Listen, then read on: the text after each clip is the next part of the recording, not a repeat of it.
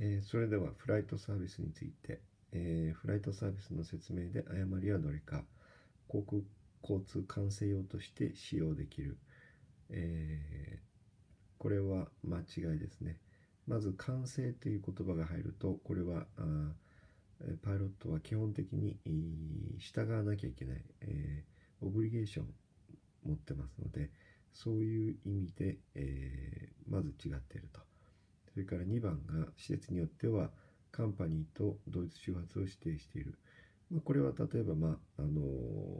地方の空港で、えー、事業者が1つしかない場合はカンパニー無線とフライトサービスは一致していることがありますので正しい。から無線免許上の通信の相手方に、えー、飛行援助用航空局と記載されている。これはあのフライトサービスのことです。まさに。それから運用時間は特定時間帯となっている。えー、実際の運用時間は施設によって違う。それはあのプライベートっていうか、あ私立の